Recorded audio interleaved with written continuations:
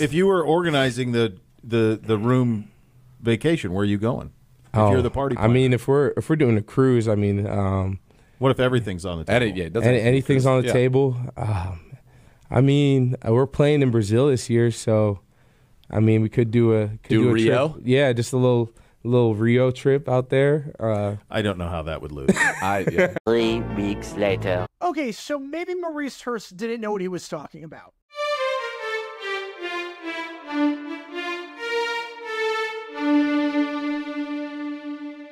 Welcome everybody to JG9 News, where we talk all things NFL all the time. I'm Jared Aaron, and I'm representing the 904 from the 602, and today we have breaking news coming out of the NFL regarding these two teams behind me right here, the Philadelphia Eagles and the Green Bay Packers, because now we know that these two teams will be playing week one Friday night in Brazil. We knew for a while that the NFL was playing a game in Brazil.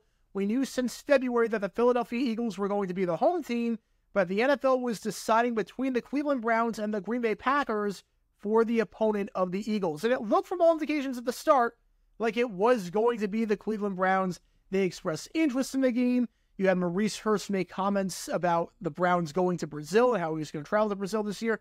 But at the end of the day, it is the Green Bay Packers, the most popular team in Brazil, who will be playing the Philadelphia Eagles for that Friday night opener in Sao Paulo. Now, yesterday we had an indication that maybe it was going to be the Packers and not the Browns. Mark Murphy, the president of the Packers, said this according to Rob Demovsky, a reporter for ESPN.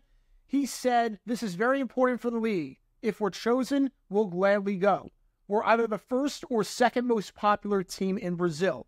And the Packers echo those thoughts, and Mark Murphy echoed those thoughts in the statement put out today about the Packers playing this game in Brazil. Said Murphy, We're looking forward to being a part of this historic matchup against the Eagles in Sao Paulo. We're excited to play in front of our devoted fans in Brazil and help build upon the international popularity of the NFL and the Packers. We had a great experience playing internationally for the first time a couple of years ago, and we're proud to be part of the league's continued global growth.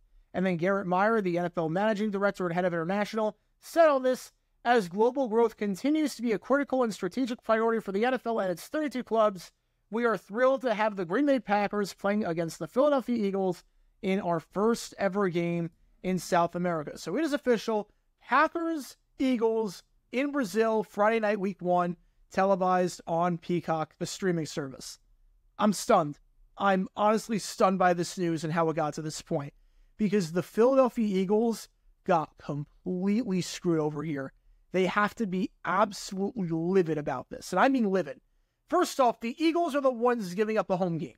They're giving up a home game in the grand scheme of things. The Packers have a 9 7 1 split, and that could be big in the wildcard hunt. The Eagles have eight home games, eight road games, one neutral, and the Packers have nine home games, seven road games, and one neutral. That is a big, big difference, especially because this might be a 10 7 split. The Packers might have 10 home games, the Eagles might be having nine road games because the Packers are the most popular team in Brazil, and by a fairly healthy margin, I might add. Even though the Eagles are the home team, this is basically a home game for the Packers. Here's a look at the most popular teams in Brazil, the breakdown, you see it there. The Packers are number one. 12.25% of all NFL fans in Brazil are fans of the Green Bay Packers. One out of every eight, roughly. Three out of every 25 fans are Packer fans. One out of every 25 fans are Eagle fans. Now, obviously, it doesn't work out like this necessarily, but realistically, you can expect a 3 1 split in that stadium, which is an Eagles home game, mind you, in favor of the Packers. So they have to be livid about this that it's not the Browns, who are way less popular than the Eagles, would have guaranteed the fact that it would have been an Eagles home game, would have been an Eagles heavy crowd, but it is not that. It is going to be a Packers heavy crowd, barring anything crazy.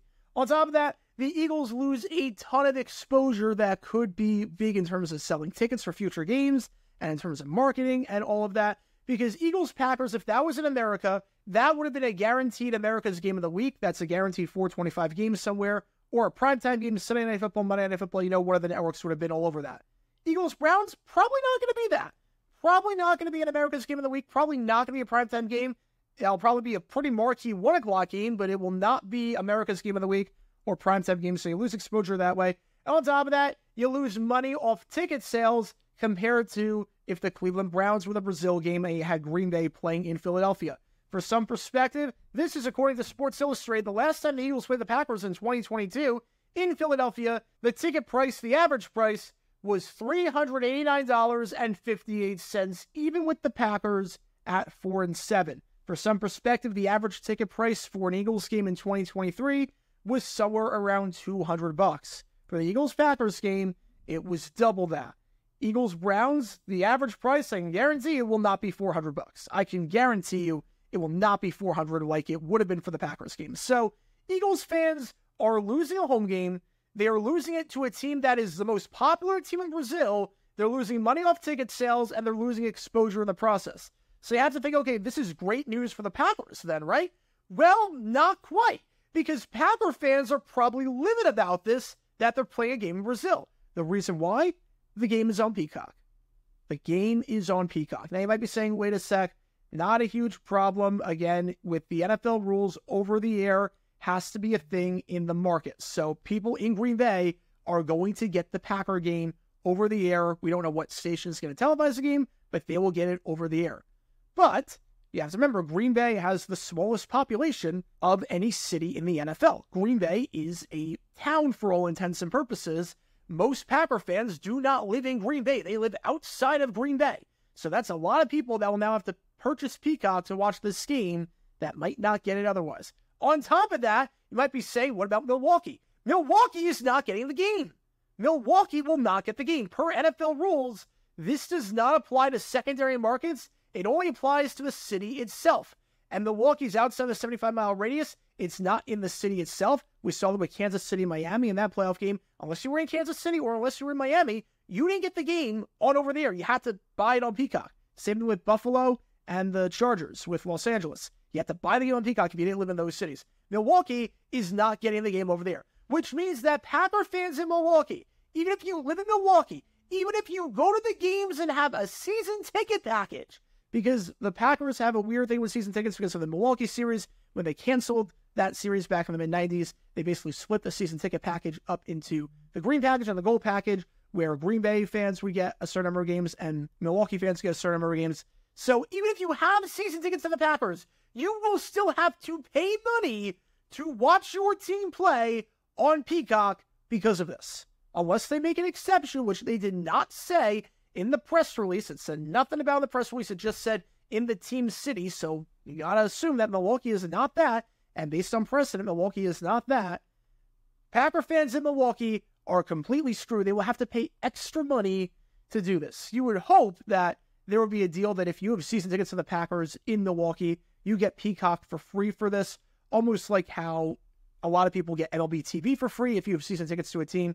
You would think that NBC Peacock would try and do something to rectify the situation for Milwaukee fans. Maybe put the game on over the air. And if you can't put it over the air, at the very least, give all people that have the gold package for Milwaukee a trial for Peacock where they get this game for free. And then if they want to keep Peacock and, and keep the service, that's fine. But at least they get this game for free. But it, we, we don't know what's going to happen. We don't know what's going to happen. But Packer fans are getting completely screwed by this, especially the Milwaukee fans who won't get the game over the air, even though they deserve to. And obviously, the Eagles have to be livid about this because they're basically playing a road game. They're basically playing a road game based on that split with Eagle fans and Packer fans. So, this decision, I'm I'm very surprised. I'm not sure it necessarily makes a whole lot of sense from the perspective of the Eagles or the Packers. It makes a ton of sense for Peacock. It makes a ton of sense for growing the game in Brazil. Don't get me wrong, but Eagles have to be livid about this. Packer fans have to be livid about this. Very shocking, especially after the comments made by Maurice Hurst. It seemed like all indications were that the Browns are going to play this game, and now it's going to be the Green Bay Packers instead. Should be a good game to open up the season on that Friday night. We don't know who the Chiefs are playing Thursday night, but for game number two, Eagles Packers, should be a good game, but not sure it makes a whole lot of sense for the Eagles or the Packers when you break it down logistically. But what are your thoughts on this news? Do you like Eagles Packers in Brazil? Do you think it's a good move? Do you not think it's a good move? Let me know your thoughts in the comments down below. Would you like to have seen Eagles Browns instead? Again, I want to hear everything down below. That's going to do for this episode of JG9 News. Be sure you like and subscribe, helps the channel out a lot. And be sure to check my main channel, JaguarGator9, where we talk all things NFL history all the time. Until next time, this is JaguarGator9 signing off, and as always, go Jags.